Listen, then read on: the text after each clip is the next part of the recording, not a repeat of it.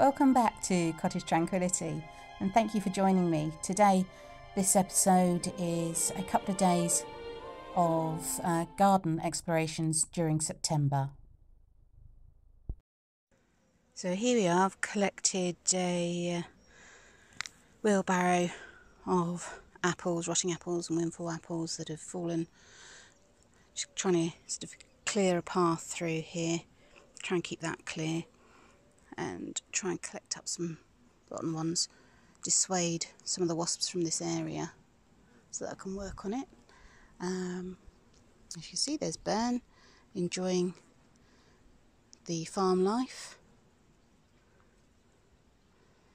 And I'm going to take these apples over to the compost heap so whatever animals want them can enjoy them over there. There's my ever faithful assistant, Burn Pie.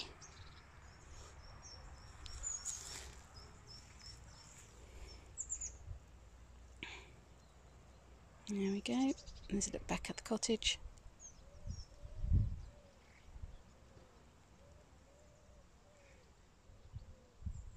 More washing out already. And it's just so peaceful here. So lovely.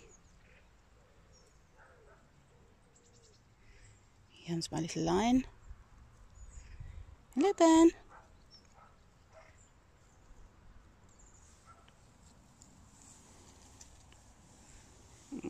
That's a good boy.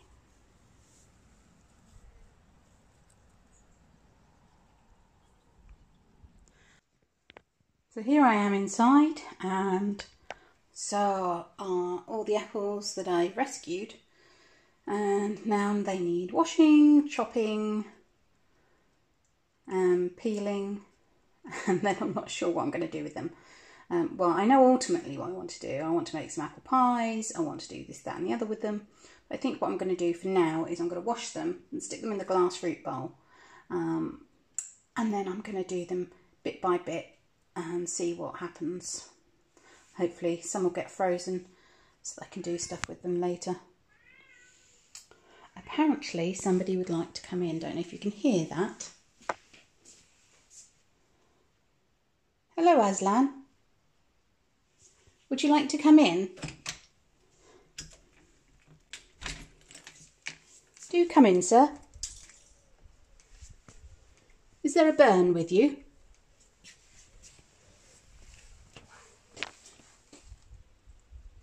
Nope, no sign of his lordship.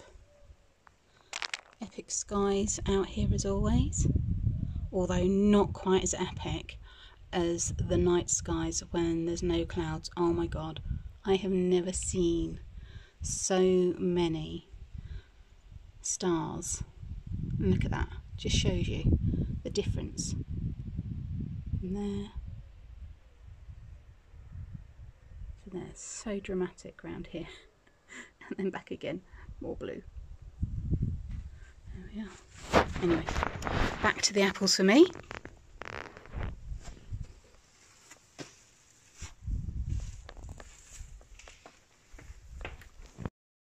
So the other day I spotted some Tomette tiles, which are like basically square terracotta tiles, in my garden, in the front garden.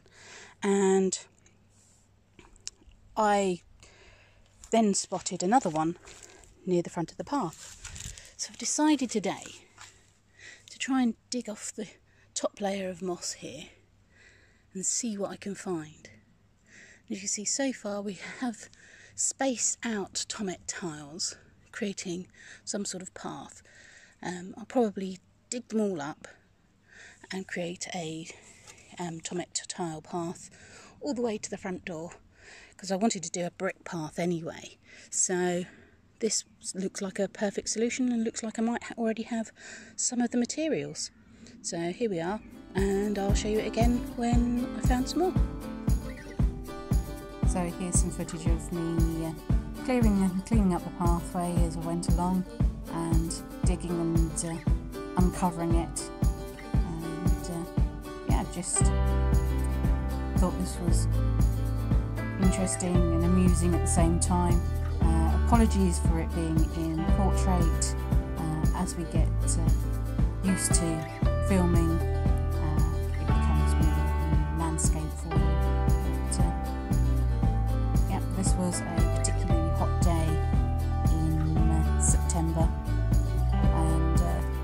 for some random reason, I decided it was a good idea to start digging up the path. So, hard work is very unflattering. I'm very pink in the face. It's quite hot here today again.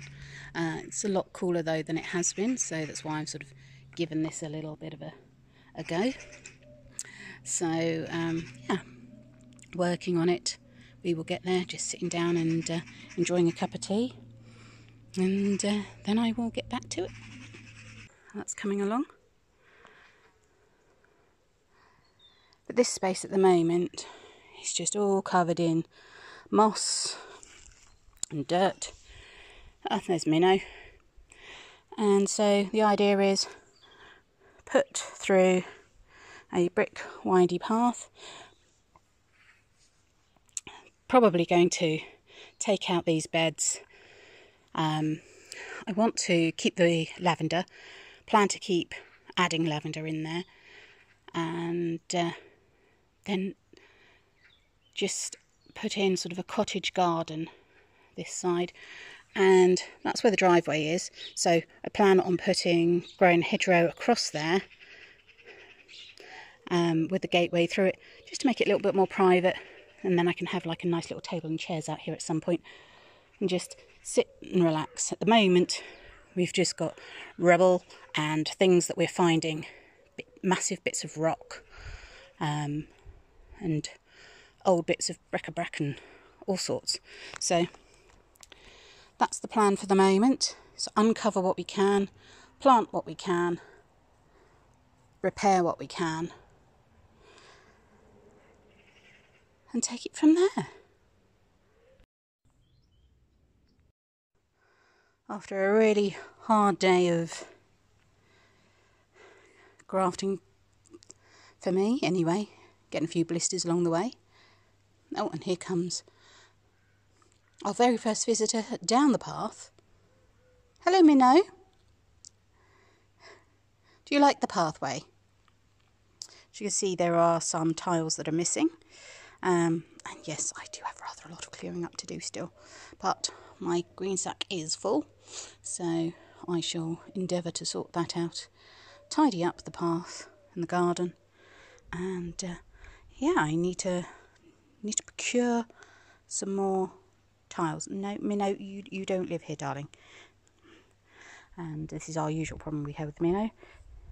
Minnow does love to try and get into the house. Uh, yeah, so I've got one or two tiles and lots of broken fragments around here.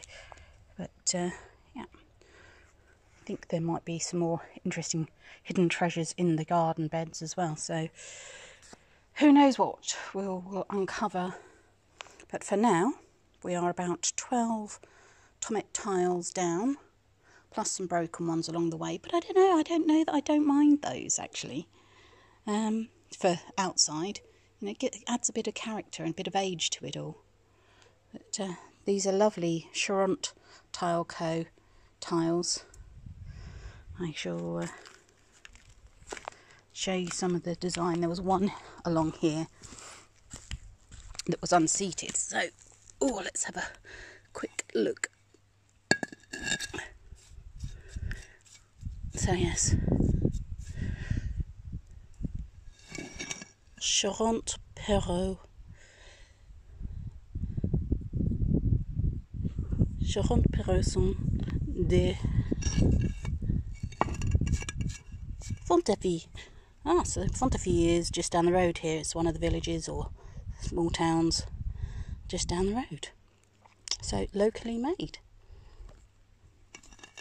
Anyway, for now, we shall try and bed that back in a little so it's not a complete danger to anyone walking on it apart from Minnow. And yes, we'll endeavour to uh, get some more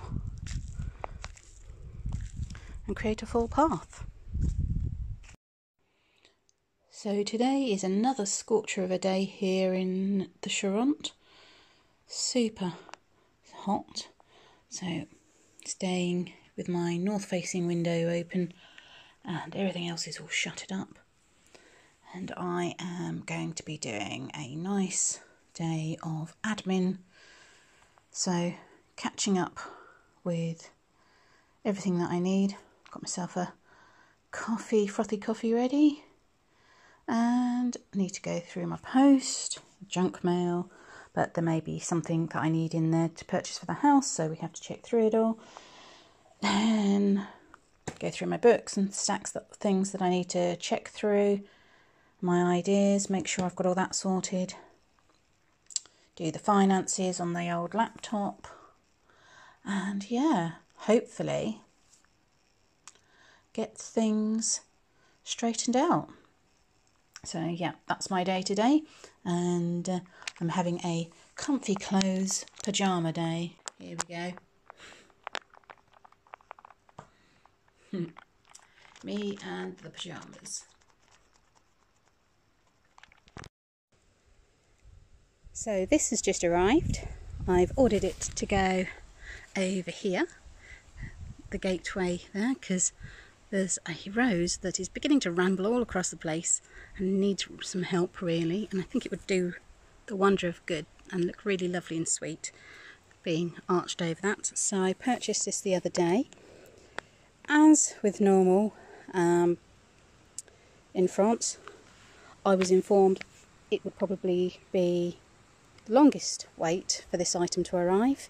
Uh, probably wasn't going to arrive until the 27th of September. It's currently, I think, about the 6th of September.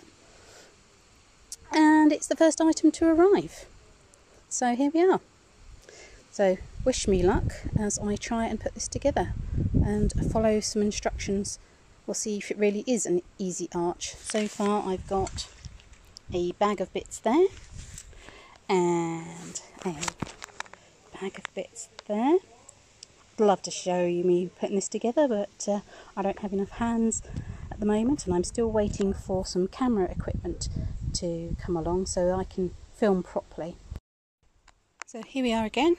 It's about seven o'clock in the evening now, something like that, and I have managed to put the arch together and pop it in place and wound some of the rows around it Still need to do some pruning out here, just uh, cut it back a bit.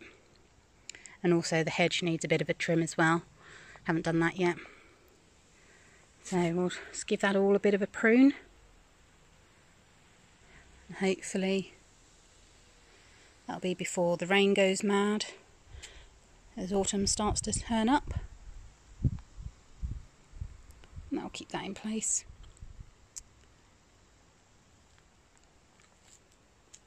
But yeah, quite happy with that. Don't know if you can actually see it. Let's, uh, there we go. Needs knocking down probably a little bit more into the ground, but I need to go and get a rubber mallet or something. As uh, whacking it with a piece of wood and a claw hammer probably it wasn't the most sensible idea. And uh, I tried to use the wood to block the claw hammer so as it wouldn't damage the metal but I didn't get too far with knocking it into the ground. So I think a decent rubber mallet will do the trick.